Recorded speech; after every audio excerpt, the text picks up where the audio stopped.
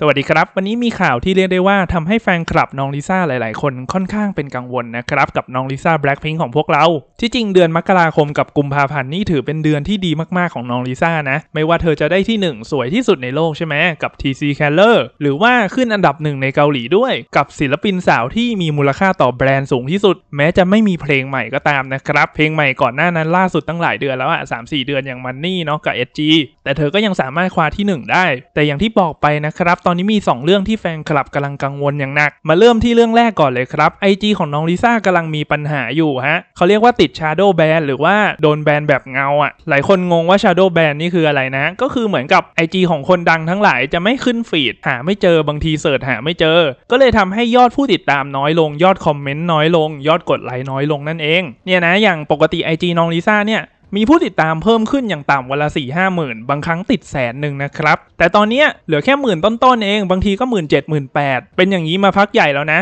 หลายอาทิตย์แล้ว ความจริงก็เป็นตั้งแต่เดือนมกราคมแล้ว แฟนคลับหลายคนก็เลยค่อนข้างเป็นกังวลนะฮะว่าเกิดอะไรขึ้น เดี๋ยวอีกแป๊บหนึ่งเรามีทฤษฎีให้แฟนคลับทั้งหลายฟังด้วยนะครับ ที่ก่อนหน้านี้แฟนคลับเขาเคยคุยกันไว้ว่าทฤษฎีอะไรบ้าง แต่วิธีแก้ปัญหาตอนนี้ก็คือใครที่ติดตามน้องลิซ่าอยู่นะฮะก็เข้าไปกดไลค์แล้วก็คอมเมนต์เชิงบวกรวมถึงแชร์ไอจีของน้องลิซ่าไปให้คนอื่นรับรู้ด้วยก็ดีนะครับ ก็จะเป็นส่วนหนึ่งที่ IG ของน้องลิซ่าเนี่ย เพิ่มยอด engagement หรือว่าคนเข้ามารับชมมากขึ้นได้ ก็น่าจะช่วยเหลือเรื่องการติดเงาได้นั่นเองครับ ส่วนทฤษฎีที่แฟนคลับเขาเคยคิดกันไว้นะฮะ คือ IG ของน้องลิซ่าเนี่ย ติดเงาไม่ใช่ครั้งนี้ครั้งแรกนะครับกับ Shadow Ban ก่อนหน้านี้ในช่วงรายการ Youth with You ซีซั่น3ที่ตอนนั้นมีดราม่าเทนมจำได้ไหมครับ ที่แบบมีคนจะไปโหวตผู้เข้าแข่งขัน แล้วก็เทนมทิ้งอะเออจนรายการสุดท้ายต้องโดนยกเลิกก่อนนะฮะก่อนถึงรอบสุดท้ายน่าเสียดายมาก ตอนนั้น IG น้องลิซ่าก็ติดเงาเช่นเดียวกันครับอ่าเหมือนกันเลยฮะยอดผู้ติดตามขึ้นน้อยมาก ตอนนั้นวันหนึ่งก็หมื่นสองหมื่นต้นๆเช่นเดียวกัน จากปกติช่วงนั้นความจริงต้องขึ้นเยอะมากนะช่วง Youth With You อะเพิ่มขึ้นวันหนึ่งเป็นแสน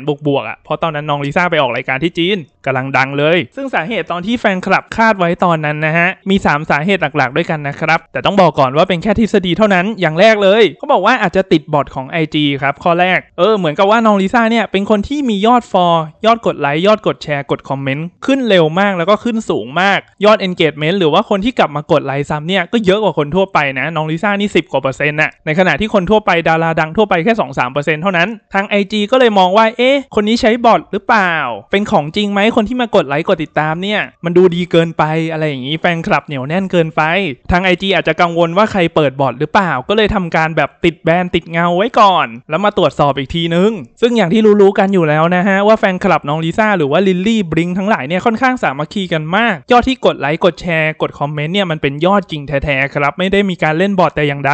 บางครั้งต้องเรียกได้ว่าดีเกินไปนะฮะจนหลายคนไม่เชื่อนั่นเองแหมก็น่าเห็นใจนะครับสำหรับสาวลิซ่าที่เรียกได้ว่ามีเสน่ห์ดึงดูดแฟนคลับทั่วโลกมากเกินไป แต่แอบภูมิใจเล็ก ๆ เหมือนกันนะกับสาวลิซ่าคนนี้อ่าผ่านไปกับทฤษฎีข้อแรกนะครับที่หลายคนคาดว่าอาจจะเป็นการเช็คบอทของ IG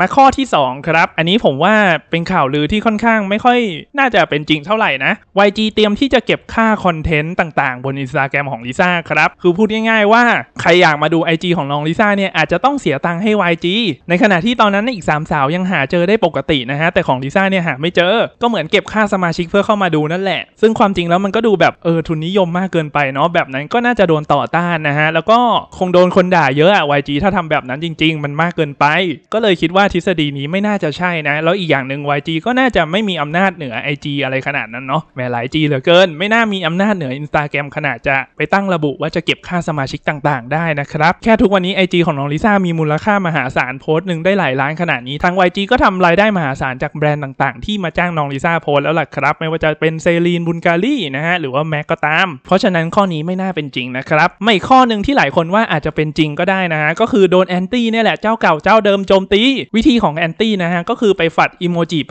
ปลกๆนั่นแหละครับอีโมจิไม่สุภาพทั้งหลายอ่าแล้วก็จะมีการทะเลาะกันเกิดขึ้นนะฮะไปล่อให้แฟนคลับทะเลาะกันอะไรบางทีอ่าไปกดรายงานบน IG ของน้องลิซ่าบ่อยๆเนี่ยก็เลยทำให้ IG ของน้องลิซ่าเนี่ยติดเงานะฮะ แต่หลายคนก็คือยังไม่รู้ไงว่าไปกดรายงานบน IG น้องลิซ่าแล้วจะทำให้ IG น้องลิซ่ามีปัญหา ถ้าวิธีแก้เนี่ยก็คือกดเข้าไปใน IG ของแอนตี้คนนั้นๆเลยเนาะแล้วก็ไปรายงานใน IG นั้นของเขาโดยตรง อ่าทีนี้ IG ของน้องลิซ่าก็จะไม่มีปัญหานะครับ ก็จะปลอดภัยขึ้นอีกระดับหนึ่งต้องเรียกได้ว่าพวกแอนตี้นี่ก็คือสรรหานะฮะหวังผลอะไรสักอย่างนี่แหละให้ IG ของน้องลิซ่าเนี่ยมียอดผู้ติดตามน้อยๆ เออ ให้น้อยลงหรือว่าบางทีก็เพิ่มขึ้นน้อยลงก็ยังดี แต่เชื่อว่าอีกไม่นานนะครับยังไงก็กลับมาปรังแน่นอนครับเพชรแท้ก็คือเพชรแท้ครับอย่างที่บอกไปเนาะขนาดไม่ต้องทำอะไรนะฮะก็ยังขึ้นที่ 1 K-POP แบบชิวๆเนาะไม่ต้องปล่อยเพลงใหม่ด้วยซ้ำแค่มีคลิปโฆษณาใหม่ๆจากเซรีนิดหน่อยเองแล้วก็มี TikTok เล็กน้อยนะฮะให้ท่านผูู้ชมได้หายคิดถึงแค่นั้น ก็ผ่านไปเรื่องแรกนะครับ กับ IG น้องลิซ่าที่หลายคนคิดว่าน่าจะมีปัญหาติดเงาอยู่ อย่างที่บอกไปนะครับ ไปช่วยกันคอมเมนต์กดไลค์กดแชร์ให้หน่อย จะได้มีคนเห็น IG น้องลิซ่าเยอะๆ ยอดจะได้พุ่งบวกๆกลับมาเป็นวันละแสนเหมือนเดิมมาอีกเรื่องหนึ่งครับเกี่ยวกับเรื่องงานปารีสแฟชั่นวีคที่หลายคนกลัวว่าน้องลิซ่าเนี่ยปีนี้ไม่รู้จะได้ไปหรือเปล่า คือปารีสแฟชั่นวีคเนี่ยต้องเรียกได้ว่าเป็นงานใหญ่ประจำปีนะฮะเป็นแฟชั่นโชว์ที่ใหญ่ที่สุดในโลกนั่นแหละสื่อมาเยอะที่สุดในโลก แล้วก็เป็นงานที่สำคัญที่สุดในโลกงานหนึ่งเพราะฉะนั้นถ้าใครได้ไปงานนี้ก็จะได้พื้นที่สื่อไปเต็มๆครับ ลูกสาวลิซ่าก็จะยิ่งปังมากขึ้นไปอีกแน่นอน แต่อย่างที่บอกไปนะฮะปีที่แล้วก็มีประเด็นที่น้องลิซ่าเนี่ยสุดท้ายไม่ได้ไปเนาะเพราะว่าไม่รู้ว่าเหตุอันใดก็ตามนะฮะ ไม่ว่าจะเป็นเซรีนที่ไม่มีโชว์ หรือว่างานบุลการีที่ YG ไม่ได้ให้ไป ปีนี้แฟนคลับก็เลยกังวลว่าสุดท้ายแล้วปีนี้ลิซ่าจะได้ไปหรือเปล่า ซึ่งงานก็จะจัดวันที่ 1 มีนาคมนี้แล้วด้วย แล้วก็มีข่าวลือล่าสุดออกมาว่า Blackpink หลาย ๆ คนเนี่ยเตรียมบินแล้วนะฮะ แต่หลายคนก็ยังมองในแง่ดีนะครับว่าน่าจะได้ไปทั้ง 4 คนนั่นแหละ อ่า YG คงไม่กล้าทำซ้ำแบบนั้นอีกแล้ว ไม่กล้ากีดกันลิซ่าอีกแล้ว แหมก็ต้องมารอดูกันนะครับ ยังไงก็ลุ้นให้น้องลิซ่าเนี่ยได้เฉิดฉายเหมือนปี 2019 กับงาน Celine นะ ตอนนั้นต้องเรียกได้ว่าสวยจริง ๆ แล้วฝรั่งก็กรี๊ดเยอะมากนะฮะ พูดแล้วยังขนลุกอยู่เลยครับ ต้องย้อนกลับไปดูคลิปเก่าๆนะท่านผู้ชม เผื่อใครตอนนั้นยังไม่ได้ตามน้องลิซ่าเนาะ เพิ่งมาตามตอนออกโซโล่อะไรอย่างเงี้ยอาจจะไม่ทัน แนะนำไปดูเลยนะฮะคลิปนี้ก็จะประมาณนี้นะครับ อย่างที่บอกไปตอนนี้พวกเราช่วยได้ดีมากๆเลยนะครับ ก็คือไปกดไลค์กดแชร์ IG น้องลิซ่าแล้วก็คอมเมนต์เชิงบวกนั่นเอง อ่าอย่าลืมไปทำกันนะครับ เพื่อน้องลิซ่าของพวกเรา ขอบคุณครับ